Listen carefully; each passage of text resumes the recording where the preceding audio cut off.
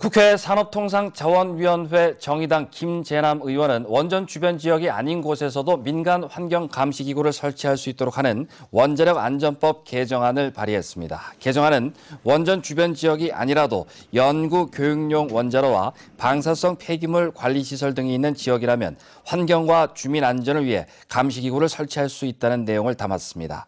김 의원은 개정안을 통해 원전 이외의 원자력 이용 시설에 대한 민간 감시 활동의 법적 근거가 마련되고 국가의 지원도 가능해질 것이라고 설명했습니다.